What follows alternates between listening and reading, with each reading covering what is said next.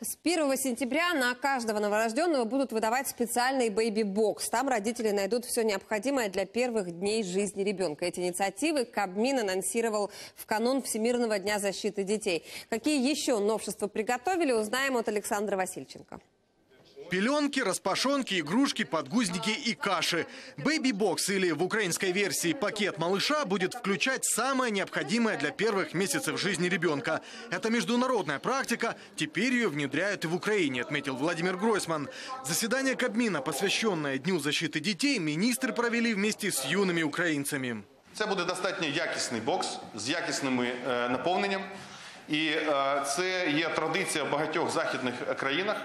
І сьогодні цю традицію ми запроваджуємо саме наш уряд для е, під- підтримки народжуваності. Тобто сотні тисяч українських е, родин, в яких народжуються діти, отримують таку додаткову цільову е, підтримку.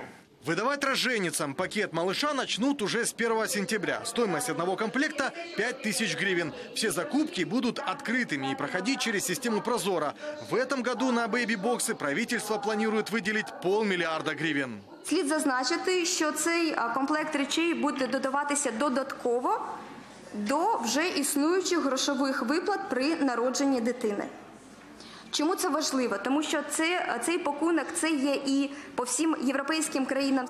Также правительство будет поддерживать мам, которые вместо декретного отпуска пойдут на работу. Государство частично возьмет на себя финансовые обязательства оплачивать работу нянь в таких семьях. І вводимо таке поняття, як муніципальна няня. Тобто тоді, коли ви, це може буде працювати з 1 січня.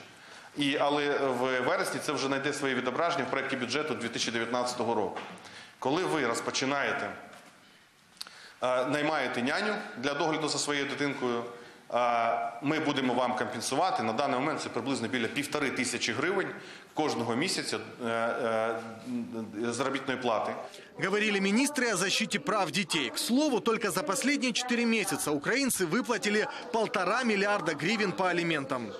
Понад 120 тисяч українських громадян а, отримали жорсткі санкції і обмеження. Близько 200 тисяч українських громадян, які є безвідповідальними, знаходяться в публічному реєстрі. 10 тисяч таких горе батьків оголошені в розшук. І близько 16 тисяч таких горе батьків а, будуть зобов'язані працювати на суспільно корисних роботах. На заседании рассмотрели и вопрос цены на газ для населения. Она пока останется неизменной. За голубое топливо украинцы будут платить почти 7 тысяч гривен за тысячу кубометров. По крайней мере, еще два месяца до конца июля. Александр Васильченко, Сергей Ведмидь. Подробности телеканал Интер.